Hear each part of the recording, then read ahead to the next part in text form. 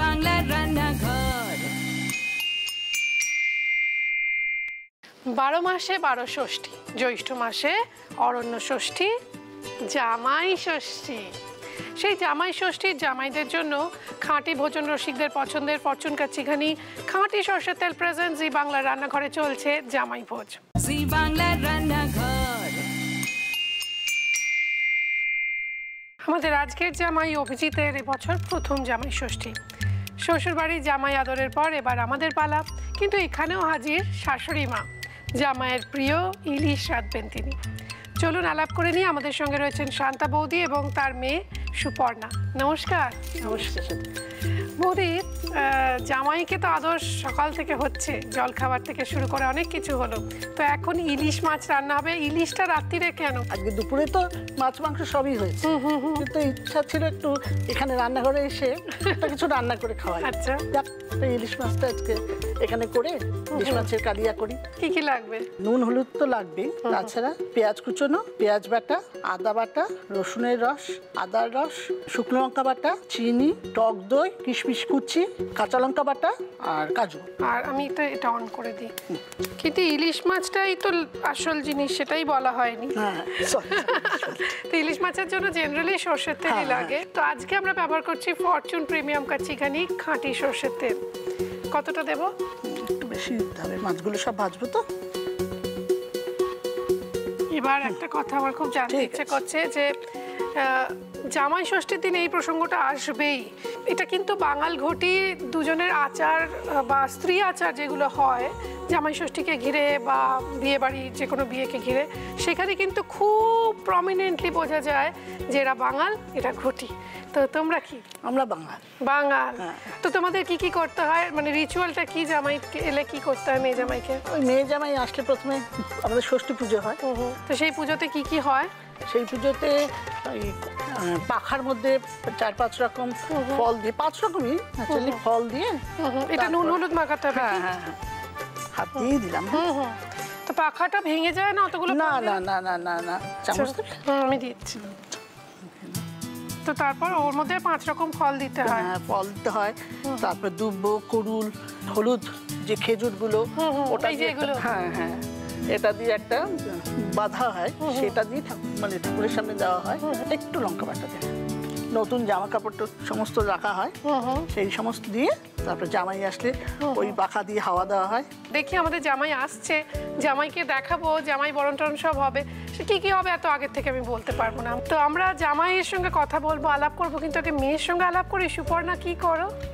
আমি এমএনসিতে জব করছি। আচ্ছা। প্লাস আমি তনুশ্রী শঙ্করের ট্রুপ মেম্বার ওখানে নাচ করছি। আরে বাবা দারুণ ব্যাপার তো। আর বর কি করে? বড় সেম কোম্পানিতেই আছে। লাভ ম্যারেজ ঠিক আছে আমরা এই প্রেমের কাহিনীটা শুনব কিন্তু তার আগে মাছগুলো ছেড়ে দিই কারণ আমাদের বড্ড প্রেম ইলিশের প্রতি এবং ইলিশের সর্ষের তেলের প্রতি। এবং আমরা রান্না করছি ফরচুন প্রিমিয়াম কাছিখানি খাঁটি সর্ষের তেলে। এবার আমরা একটা জিনিস একটু জানতে চাইব এই প্রেমটা হলো কি করে? যেরকম এখন মাছটা আমরা দেখতে পাচ্ছি দর্শকরা দেখছেন মাছের সঙ্গে এখন সর্ষের তেলের একটা প্রেম হচ্ছে।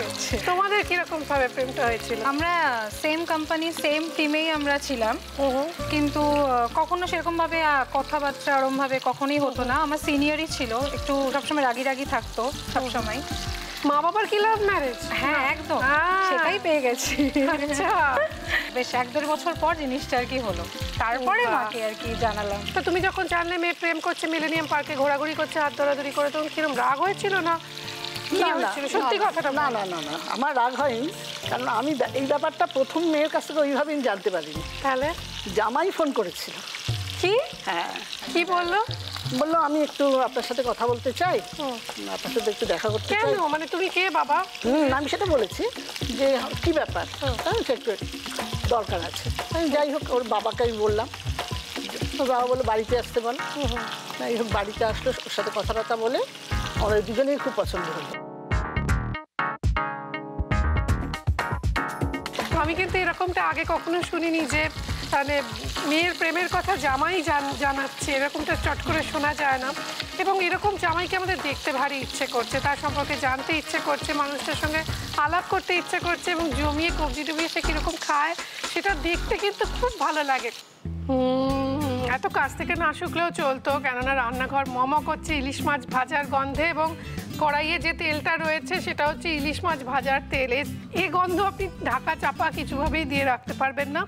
এবং যেখানে আমরা রান্না করছি হবটা বা গ্যাস আভেনটা যদি গ্লাস টপ বডি হয় এবং উইথ সেরামিক প্লেটস হয়, তাহলে কি কি সুবিধা হয়?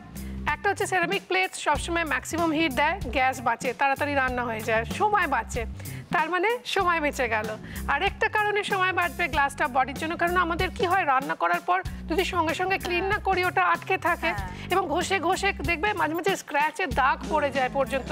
স্টিল উল দিয়ে তুলতে হয় বা যে কোনো রকম স্ক্রাব প্যাড দিয়ে।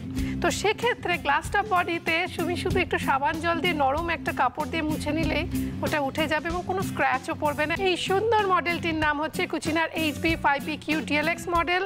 আর তার সঙ্গে সঙ্গে মডেল নয়, ঠিক? মানে সুন্দর সুন্দর খাবারের ছবি, সুন্দর সুন্দর রেস্তোরাঁর খবর যদি তুমি পেতে চাও, তাহলে অবশ্যই তোমার হাতে তুলে নিতে হবে বাংলার প্রথম আন্তর্জাতিক ফুড ম্যাগাজিন হ্যাংলা হেসেল। আমাদের হেসেলে এখন সুপর্ণা রান্না শিখছে, আমি রান্না শিখছি এবং বৌদি রান্না করছে। শান্ত বৌদি বলো কি করতে হবে? আচ্ছা এবার তেলটা গরম হয়ে গেছে আমি একটু চিনি ফোড়ন দেবো। একটা চামচ দেবে? নিশ্চয়ই তুমি না এত হেঁটো না বা দোলাদুলি করো আমি আছি তোমার হেল্প করার জন্য। আমি জানি তোমার পায়ে একটা সমস্যা রয়েছে। এ নাও। ঠিক আছে। কি হয়েছিল গো মায়ের? সুপর্ণা? প্রায় অনেক দিন ধরেই ভুগছিলেন অস্টিও আর্থারাইটিসে আর কি। আচ্ছা। প্রায় পাঁচ ছ বছর। সে কি পেন কিলার খেয়ে খেয়ে খেয়ে খেয়ে জিনিসটাকে আর কি আটকে রাখা হয়েছিল। বাট ফাইনালি আমার মনে হলো এটা বেশি দিন আর ফেলে রাখা উচিত না। তো জাস্ট দু মাস হয়েছে নি রিপ্লেসমেন্ট অপারেশন হয়েছে। হ্যাঁ? আর আজকেই মা প্রথম বেরিয়েছে আর কি বাড়ি থেকে। বাবা সো সরি তো না তোমার না না, দেবো? না না না কিচ্ছু লাগবে না হ্যাঁ? কিচ্ছু সত্যি কথা বলো তুমি এরকম বলো না লাগবে না লাগবে। পারবে রান্না করতে? হ্যাঁ হ্যাঁ, নিশ্চয়ই। জামাইয়ের জন্য সব পারবে। চলো দেখি। এবার পেঁয়াজটা দিচ্ছি হ্যাঁ?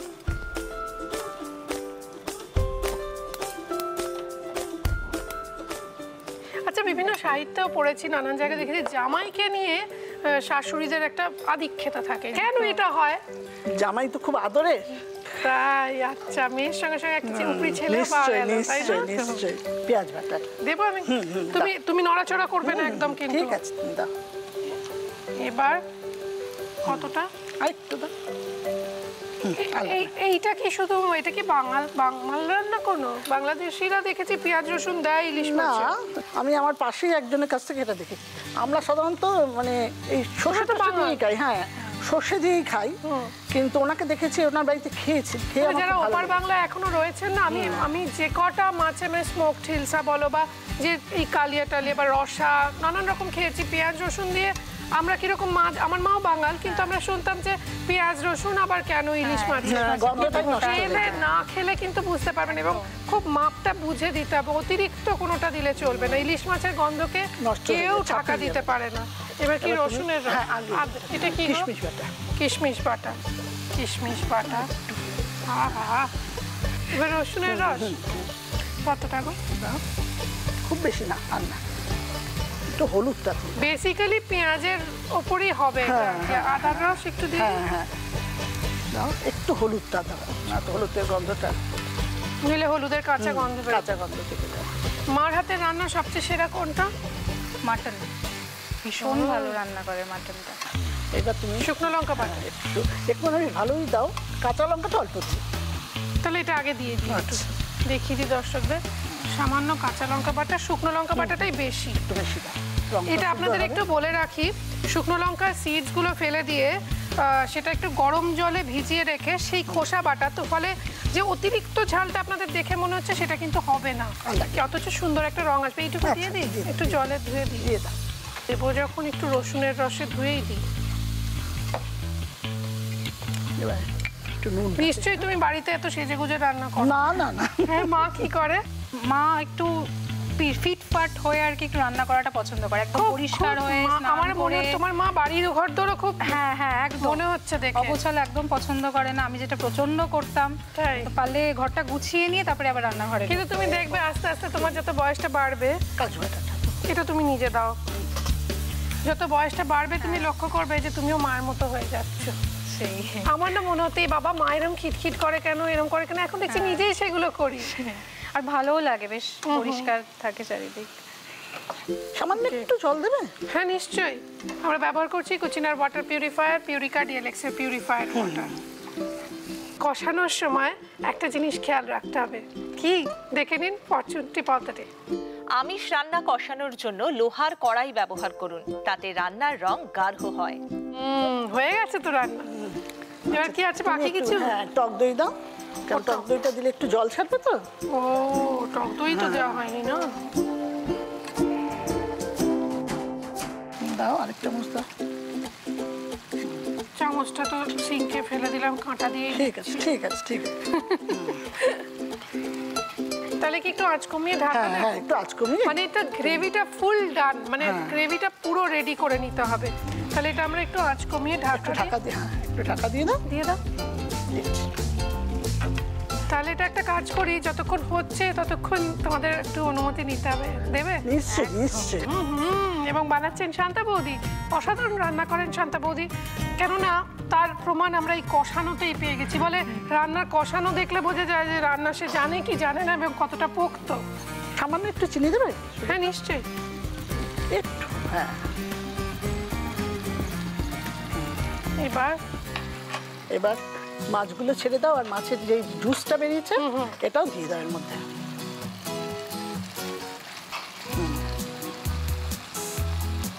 আচ্ছা এটা তো বেশি না না না না না? জাস্ট এটা সার্ভ হ্যাঁ। করতে হবে। আর কিশমিশ কুচিটা? হ্যাঁ, নামিয়ে সাজিয়ে একটু আচ্ছা, দেখতে লাগে।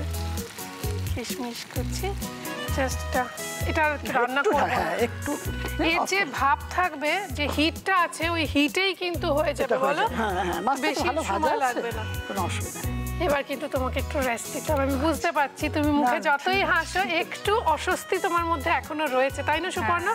আমরা ওনাকে রেস্ট দেবো এবং ওনার মুখের হাসি এই যে ওনার আমি একটু চাইব যে ওনাকে একবার দেখুন এই যে হাসিটা। আমার দিকে তাকিয়ে একটু হাসো তো আমি।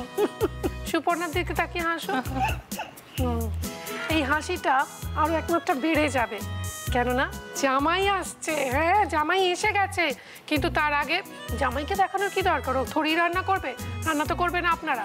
দেখে নিন এই রেসিপিটা লিখে নিন এই রেসিপিটা আরও একবার।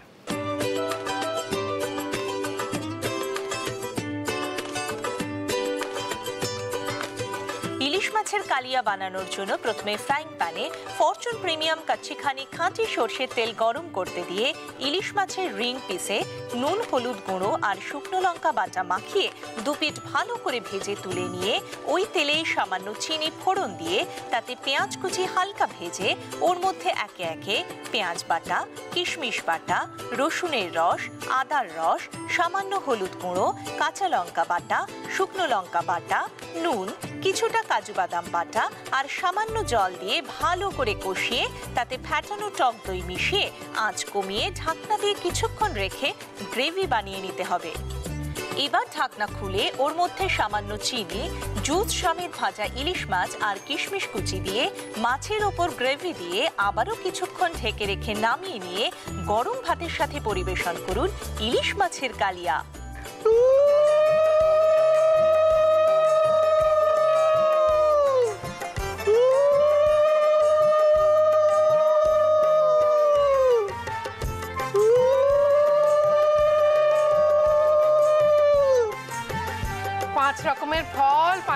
মিষ্টি দিয়ে আমাদের জামাই বাবা জীবন মানে বাবু সোনাকে বরণ করা হচ্ছে। এই নামটা বলে দেওয়া হবে একদম এক্সপেক্ট করেনি। ওর নাম বাবু সোনা না তোমার নাম? হুম, প্রণাম করো। ঠিক আছে ঠিক আছে ঠিক আছে ঠিক আছে ঠিক আছে। খুবই সুন্দর দৃশ্য এবং এরকম মনোরম দৃশ্য সাক্ষী করেছিলাম আমরা। আমরা না মানে আমি ছিলাম না কিন্তু অনেকেই ছিলেন পরিবার পরিজন আত্মীয় বন্ধু বান্ধব সকলকে নিয়ে নাইন ডিসেম্বর কি হয়েছিল দু হাজার ষোলো তো সেই বিয়ে পর পর কিছু ছবি আমরা সাজিয়ে রেখেছি। খুব দেখতে ইচ্ছে করছে। দেখি দেখি।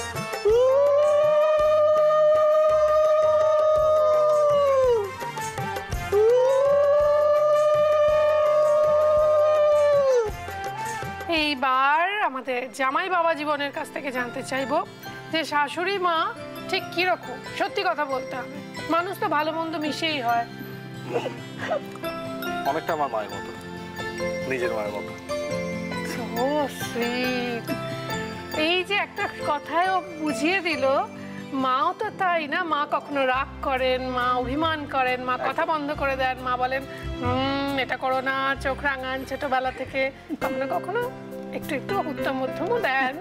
কিন্তু তার মানে আমার মায়ের মতো মানে উনি একটা এক্সপ্রেশনের সমস্তটা বুঝিয়ে দিয়েছেন।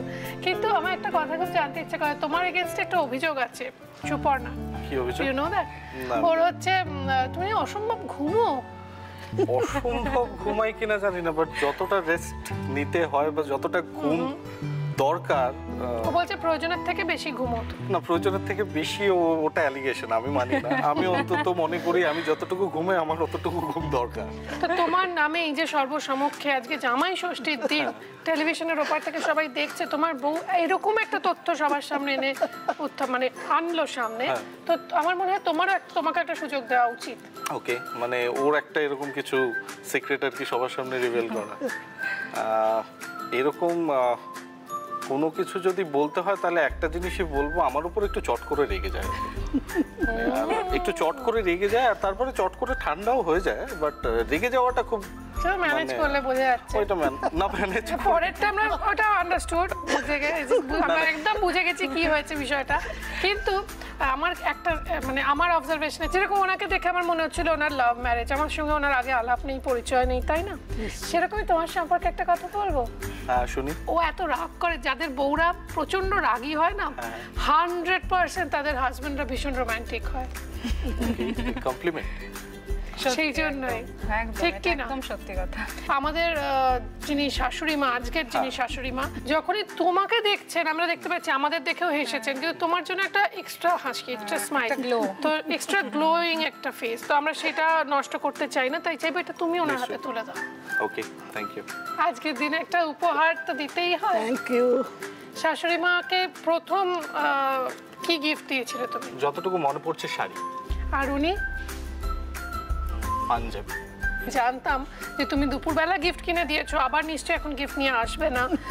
তো সেই জন্য আমরা শাশুড়ি মার জন্য কিছু উপহার সাজিয়ে রেখেছি দেখে নি? কি কি? নিশ্চয়ই থ্যাংক ইউ সো মাচ রয়েছে কৃষ্ণচন্দ্র দত্ত কুকনি প্রাইভেট লিমিটেডের তরফ থেকে ডাটা গুঁড়ো মশলার একটি গিফট হ্যাম্পার রয়েছে তাগের জো মার্বো কেয়ারের তরফ থেকে একটি গিফট হ্যাম্পার রয়েছে মটন ব্র্যান্ড ঘির তরফ থেকে একটি গিফট হ্যাম্পার রয়েছে কেকসের তরফ থেকে একটি সুন্দর কেক আর রয়েছে আমার রেস্টুরেন্ট সুদীপার রান্নাঘরের তরফ থেকে twenty five percent discount voucher এবার একটা সুখবর।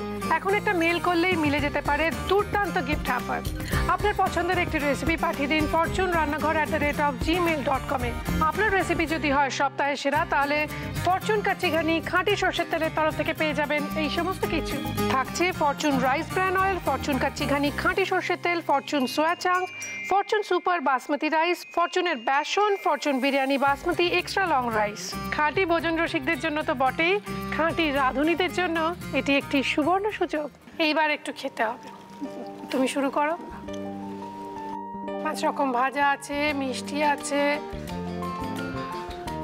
আগে মাছটা খেয়ে বলতে হবে একটু শাশুড়ি মা রেঁধেছে উনি বারবার রাতে রাতে ডাল তরকারি সব রয়েছে সেগুলো দিচ্ছে আমরা বসিয়ে খাব। আমি জানি দুপুরবেলা প্রচুর খেয়েছো তুমি। এবং এই বিকেলেই তোমার এখনও সূর্য ঢলেনি। মানে কষা মাংস ঢেকুরটা এখনও আছে তার হ্যাঁ মধ্যে ইলিশ মাছ। আবার ইলিশ মাছটা হ্যাঁ। কীরকম হয়েছে জানি এটাই তুমি খুব সুন্দর। না অনেস্টলি মানে খুব সুন্দর। তোমার সাহস আছে বল আর খারাপ হয়েছে।